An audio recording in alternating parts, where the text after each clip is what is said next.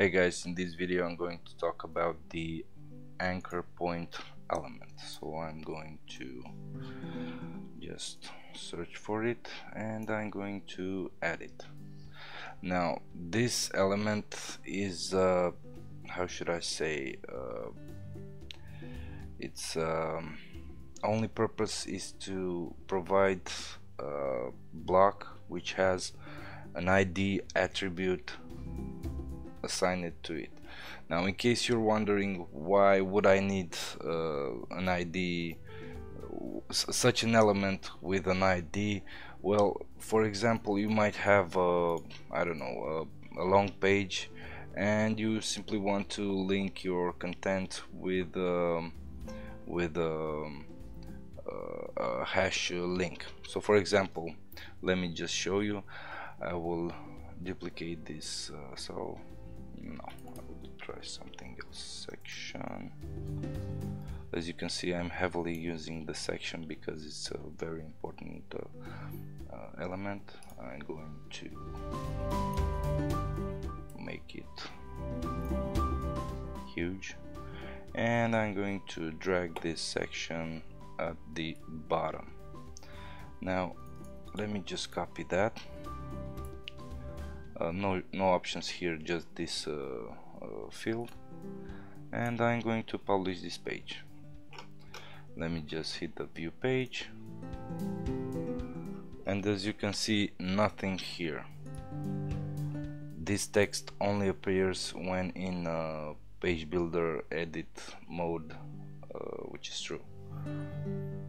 So back to the uh, preview so you want to link to that uh, zone into your website. I will just add the hash and the ID as you can see it went to the bottom where this uh, element uh, exists. Now let me let me do it even better. One second. I will try to make it even better for you to understand in case you didn't. Uh, as you can see I cloned uh, this uh, section. Uh, this is so I can uh, have a distance from the top. Hope you understand that. And I'm just going to add this. Whoa.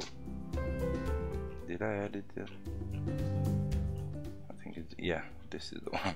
Sorry about that. And let me edit. This is the anchor point. Okay I'm gonna publish.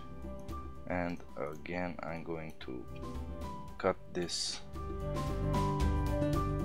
As you can see this is the anchor point when I'm going to add this uh, custom ID it will take me right there. Now we have a problem here because uh, uh, we have this um, this bar which uh, which is the WordPress bar and uh, uh, this won't affect things into the um, into the front end.